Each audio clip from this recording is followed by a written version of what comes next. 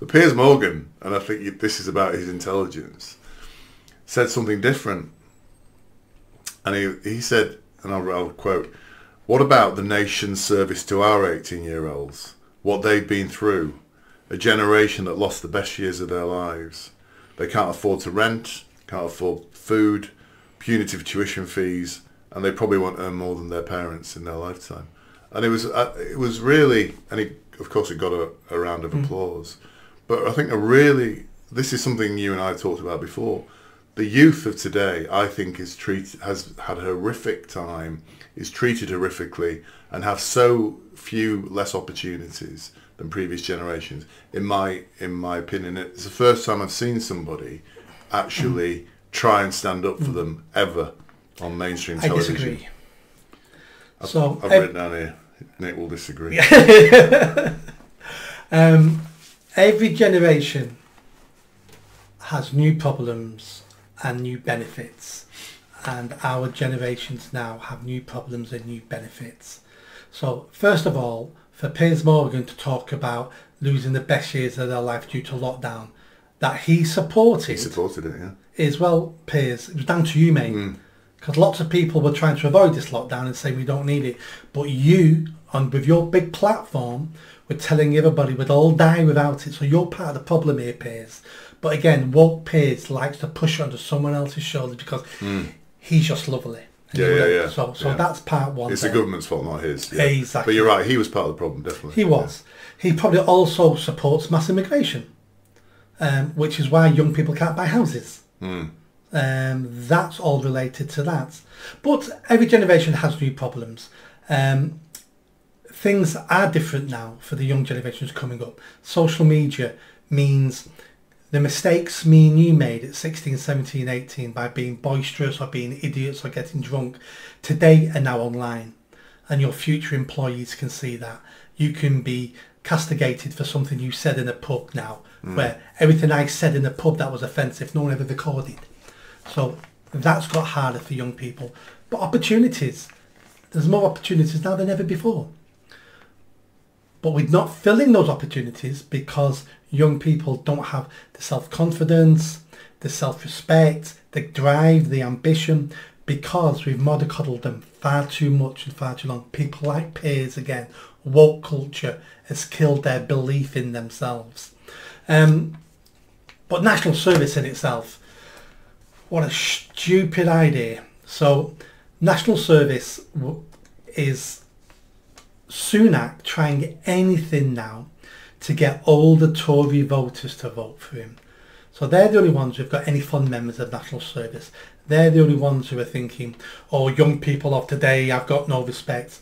Every generation thinks young people have got no respect. We've got letters from from Rome 2,000 years ago saying exactly the same thing about their young people. Um, so none of this ever changes. But national service in itself, and you think, well, why do you want national service? Well, it'll give them an education. Why don't you just fix our education system then? Or it'll give them some aspirations to help them get a job. Fix our education system. Yeah. And everything we're saying is to fix a problem that nobody wants to fix. So now we're going to create a new project that we're going to run extremely poorly, that will achieve nothing that we're spending more money on. Um, it's it's pie in the sky, and I'll tell you now, most young people won't attend Yeah. and there's nothing you can do about it. We can't get young people to wave the Union Jack flag, and we think they're going to do national service. Half the young people in our country hate the country mm. and want it to fall to Russia and be communist or to be Islamist or to be a woke utopia. It- we need to fix our education. We need to fix our parenting. We need to fix society. This is just a stupid idea by a dying prime minister trying to grasp a couple of hmm. old people's votes. Yeah, I, and I agree with that. I, I was more interested in in Piers' sentiment, which I think was was well placed, and I think I would be attracted to vote for somebody who would try to deal with the issues that the young people of today are facing. See, Piers Morgan's little diatribe there is victim culture. He's saying to young people, look how bad you've got it. We need to help you. No, no, no, no, no. What we should be saying to young people is, you still live the best time in the history of the world to be a young person. No, no they, they definitely do, but I think it's also true that they are not going to have as good a life as their parents. I don't think that's true at all. I, I, I think that's yet that's to be seen. Well, we're already seeing it because less young people are driving, less young people have houses, own houses, more young certain- people are in rented accommodation. There'll be certain metrics that young people will do worse than their parents, but happiness and doing well in life is a multifaceted judgment. Hmm. But I, I can guarantee those young people will have a better life than their parents. They may, they may never own a house unless we sort out mass immigration, but everything else, lots of other things will be better and they'll have a better life. Because that's been the history of mankind for the last, what, 250 years? Yes. Well, I'm saying I think it's kind of stalling at the moment. And every generation says that. And it never happens. Maybe. Maybe. I, I just remember back in the 80s and 90s, life seemed hmm. quite easy to me. That was you in a different age. The young people now, if you took them back to your age now in the 80s, they wouldn't know what to do because it'd be alien to them. But, but young people in the age they've got now that they're being raised to live in, many will be successful. Maybe not in the ways you've been successful, but they may be successful in other ways.